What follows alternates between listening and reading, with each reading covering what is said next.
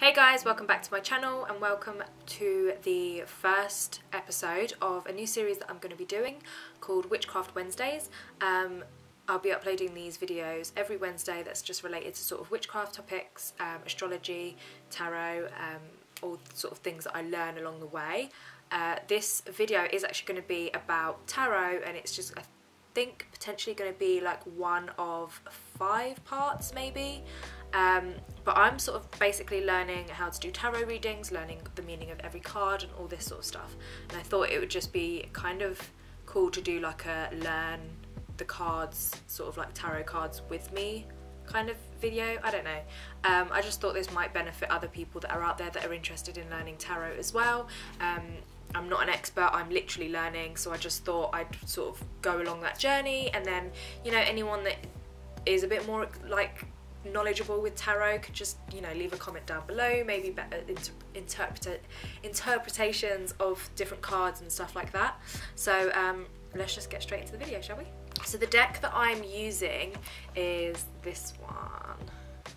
It is the Shaman Caselli tarot deck um, it comes with all of the cards inside as well as this little book that gives you like a small sort of description of each card. Um, yes, it just gives you like a theme and like the symbolism of like the pictures and stuff like that, which is kind of really helpful as well, uh, especially when you're just starting out and you don't. I've got the hiccups. I'm so sorry. Uh, especially when you're starting out and you don't really know what everything means. So I thought I would just start with the major arcana um, and just get straight into it really this is just my interpretation of it. Uh, other people will have different interpretations. This may or may not help you. You may not resonate with the way I've interpreted, interpreted, interpreted, interpreted, interpreted, in, interpreted the cards. I don't know if that's even a word now. Anyway, uh, this is just the way that I've I've done it, um, and the way that it sort of just kind of sits with me and um, I've made notes of everything as well and um, yeah it's all still quite fresh in my mind and there are quite a few cards so I have got the notes just to reference back just in case but I am going to try because yep I am learning as well so I am going to try and just sort of go into them so it might not be like a big sort of description and interpretation because I am still just learning um, so it's the best way that I find that I can associate with them is just knowing like maybe just one or two words that I can associate with that sort of card and the symbolism of them and then um, you can always interpret that into whichever question you've got from from the reading and whatnot. So um, let's get straight into it, shall we? The first card is the Fool. Now the Fool is like the first of the major and it represents new beginnings, naivety. Uh, he, in this particular image, he is right close to the cliff edge, which is just the innocence. He's got his head up. He's not really being aware of his surroundings and things like that. So it is a representation of new beginnings and naivety, like a free spirit. Now, if you were to get this card in reverse, it would just more be more so representation of like recklessness and like inconsiderate and and things like that just like the recklessness being that he's so close to the edge and things like that that's how I kind of have remembered it um, so that is card number one the fool card number two goes into the magician. Got this. Yeah the magician. So this one for me, how the way I remember it is that the magician is about willpower and manifestation, like a magician would manifest magic. I don't know however you want to remember it, but that's just the way that I remember it and how I've like represented it. So like a magician, he represents um, manifestation and willpower. Uh, when you get this in reverse, however, it does represent trickery and um, illusions, which again, it's not hard to remember seeing as it's a magician. So there's that one. Um, the third card is the High Priestess. Now this one represents your intuition, that inner voice. Um, that's the best way that I can remember it as just being like your intuition, your gut feeling, that inner voice. Um, and your unconsciousness is what I've written here. Uh, when you get it in reverse, it's basically like the opposite of that. So, I mean, with all the cards, when you get the card in reverse, it technically just means the opposite. So, for this particular card in reverse, it would mean um, losing that inner voice and, um, yeah, kind of losing your way a little bit and not listening to that inner intuition, having like repressed feelings, that sort of stuff. That's what that would represent. Where is this? Number card number four. card number four is the Empress. Now this one I, I personally can remember quite well just because of the image in itself. So this one represents nature, motherhood and uh, fertility.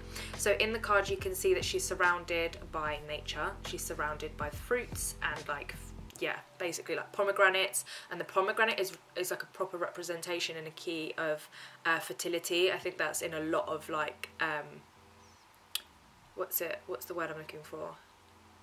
I can't think of the word, but I know that pomegranate is a representation of fertility. And um, when you get this card in particular in reverse, it means the opposite of that. So when you think of like motherhood and fertility, you just think of someone that's very caring and very like loving and independent and all those sort of things. Um, in reverse, it means that you're very dependent, you're very clingy, um, what else have I put on here? Emptiness and nosiness. So it's being smothering, being a bit too much, too motherly is the best way to try and remember it. The fifth card is the fifth card is the Emperor. Now this one represents strength, more like authority and like power and um,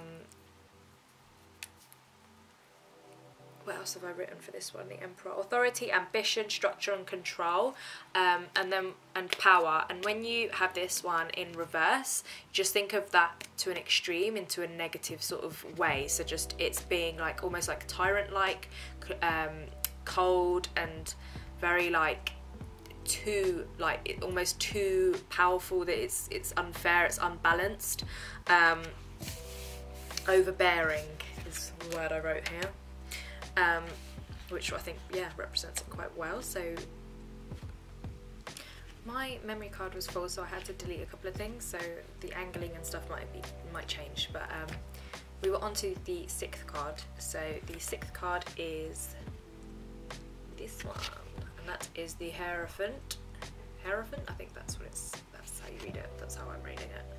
Uh, this one represents um, tradition, and ethics and all those sort of like consistent sort of things. Um, when you get this card in reverse, it represents rebellion, new beginnings.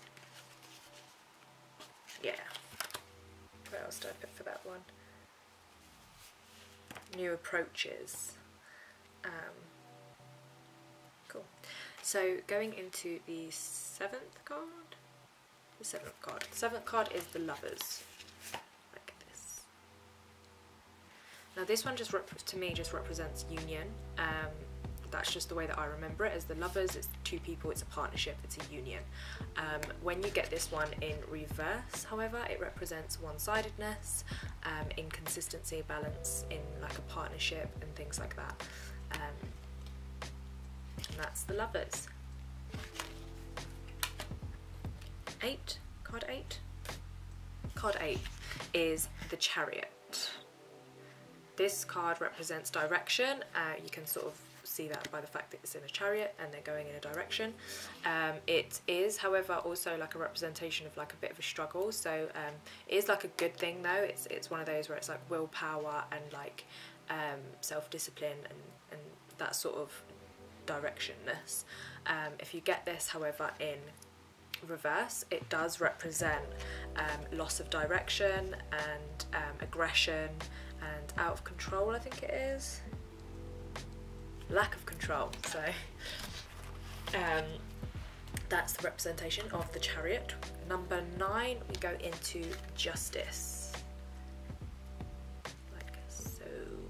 Now justice like the way that I remember this one as well is the purple curtain in the back. Purple is a colour that represents wis wisdom Um, and then she's also holding a scales which are balanced, so it's very much about fairness and um, wisdom, logic, all that sort of stuff. Um, when you get this card, however, in reverse, it represents unfairness, um, unjust, and um, dishonesty, unfairness, yeah. That is justice. Um, the next card, i I've kind of, I think it's number nine, but I, yeah, we're just going to get rid of the numbers now because I don't remember them. So we're going just the next card. The next card is the Temperance, like this. Now this one I remember by it just being about balance and like the middle ground um, and that sort of fairness in that sort of way. Uh, I don't know how I remember this by that, to be fair, like I just remember that it is that. So there's no like visual key for me that makes me remember that. Um, this in obviously reverse would be the opposite of that, so it just means um, not being in balance, one-sidedness, uh, maybe you're feeling a bit lost, confused, um, extremes, excess and lack of balance. The next card going in is Strength. Represented like so. And that pretty much tells you what it represents. It represents strength, so strength, bravery, um, all that sort of jazz. Uh, when you get this, however, in reverse, it represents um, lack of self-belief, um, self-consciousness, that sort of thing. Self-doubt, weakness and insecurities. That's what I wrote down. The next card is the Hermit and this one is a representation of a journey of like trying to find the truth and the way that I remember that is with the fact that he's holding a lantern and he's in the dark so he's looking he's seeking he's guiding the way um, so it's kind of that sort of representation um, also in the little book that comes with the tarot deck it sort of says how um, in comparison to the fool where his head is up and he's kind of naive and all that sort of stuff his head is down. He's looking at the ground. He's looking at the where he's going. So he's kind of like more um, wise about his journey and again truth discovery and stuff like that. Um, I've also written sorry I'm using my um, computer screen my Mac screen as a light. So it keeps going off so I have to keep tapping it. Uh, I've also written that it represents patience, uh, contemplation and inner guidance. Um, so when you get this card in reverse, that will represent uh, losing your way, loneliness and isolation is what I've written down. So yeah, just think of it as like someone that's like seeking the way. Um, he's, oh God, he's got a lantern. He's obviously like he's looking down, he's looking where he's going, eh, he's seeking the truth. And when it's in reverse, you've kind of lost your way. Think of it as just, yeah, like he doesn't know where he's going, he's not seeking that truth anymore, or the direction's gone wrong. The next card is the Wheel of Fortune. And again, this one pretty much says what it is in the name, the Wheel of Fortune. Um, it is a representation of a cycle. Um, it is to do with fortune, to do with change and things like that. Um, cycle, inevitable fate, that's what I've wrote. Um, seeing this in reverse would represent your fear of change, um, bad luck, because it's the Wheel of Fortune, so the opposite of fortune is bad luck. And just yeah basically like a fear of change um, trying to lose uh, trying to cling to control. The next card represents the hanged man. So this card represents sacrifice hence hanging um, that's pretty much it, just sacrifice. Uh, a sacrifice needs to be made.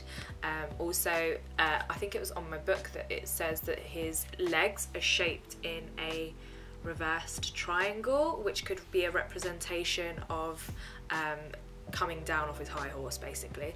Um, getting this card in reverse would just mean that you are, like, could fear um, sacrifice. Um, what else have I written? Stalling, needless sacrifices, things like that. So something has to change. You need to make a sacrifice when you find it like this.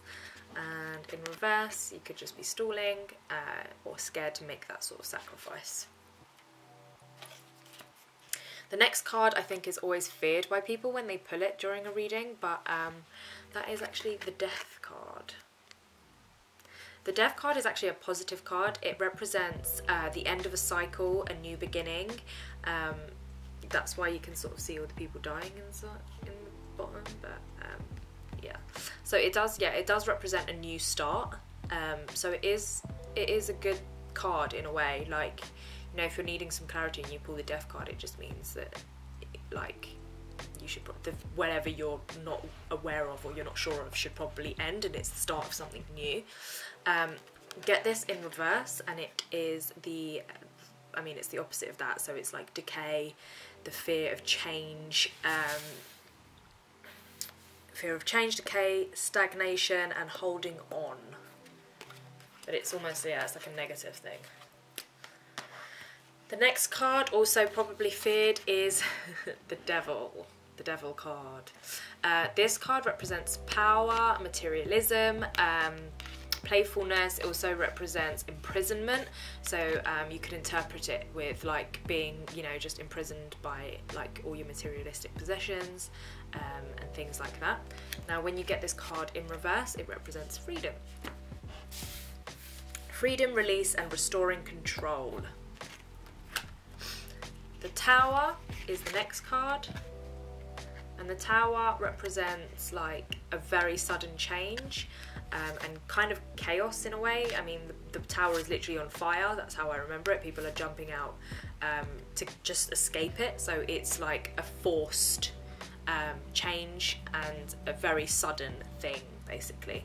Um, and when you get this in reverse, it can mean that you've either um, delayed the chaos that's about to happen or it's just not going to happen at all anymore and you've kind of avoided it. Um, what else have I written down? Fear of suffering as well. And that's the tower. The next card on the list is the star. Like so. Now the star represents um,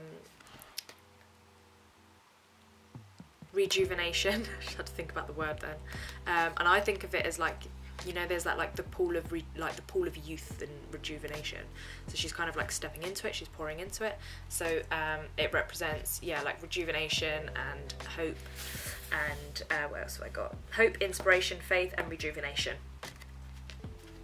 So in reverse it's just the opposite of that. It's faithless faithfulness faith faith faithlessness faithlessness discouragement and insecurity that is the star. The next card represents the is not even represents it is the moon. Um, the moon is a representation of emotion. Um, it's also got the little crab because it is the planet that that is uh, that rules the Cancer sign, and Cancer is the crab sign. Um, it also represents intuition and um, what else have I written for it? Intuition, illusion, and unconsciousness. However, when you get it in reverse, it can re represent confusion. Confusion, fear, and misinterpretation is what I've written. And that is the moon. Now, the next card is the sun. The sun represents everything positive, basically. Uh, celebration, joy, happiness, um, things good basically is what it represents. Um, get this card in reverse and it literally represents the opposite of that, so sadness and depression, um, and that's the sun. Now we're down to the last two. So the, la the second to last is judgment. Judgment literally represents uh, like an awakening, uh, self like just think of it as Judgment Day kind of thing. So you're being judged, you're you're you're awakening to that. You're being um, resolution, reflection, awakening, and reckoning. That's what I've written down there. Get judgment in the opposite, and it's doubt, lack of self awareness, and self loathing is what I've written. So just, yeah, positive, negative, positive, negative. Um, so yeah, that's judgment for you. Um, self-discovery, lack of self-discovery. And the final card is the world. And the world pretty much just represents um, the completion of something, um, being like awarded that, like just, yeah, the end of something in a positive way though, like you've completed something. Um, when you find this card, however, in reverse, it represents um, no closure and just like not fully being fulfilled in that sort of sense. And um, yeah, that's that's the world. So those are all the major arcana and uh, the ways that I've interpreted it and I hope it kind of helps anyone else that's interested in learning about tarot. Um, I think the way that I'm sort of doing it at the moment is just taking it into like the different sort of steps um, and different cards and stuff. So I just thought if I just learnt the major ones first and like I've written them all down into my book of shadows as well and like with words of in of what they mean and what they mean in reverse and things like that. Um, the next ones that I'm going to do I think may potentially be maybe the cups. I might do all of the cups and that representation of what that means and stuff like that. Um, but I have like separated all of my tarots into all of the different um, elements. So we've got the cups, the swords, the pentagons, and the wands. Pentagons, pentacles, pentacles, pentacles, pentagons, pent pentacles, and the wands. um, so yeah, see me next week for part two of this little um, Witchcraft Wednesday, Witchy Wednesdays, uh, going into tarot readings and learning about the deck. I hope you really enjoyed this video. Uh, if you guys already actually, if there's anyone watching this that actually already is really advanced in tarot readings or anything like that, I don't know. If you've got like uh, an easier way or maybe some other little um, words that can represent different cards or maybe if I even got some wrong um, just leave a comment down below because it'd be really cool to speak to some more experienced witches um, and get a bit of guidance as well. So uh, I hope you enjoyed this video guys and I'll see you next week for another one. Thanks bye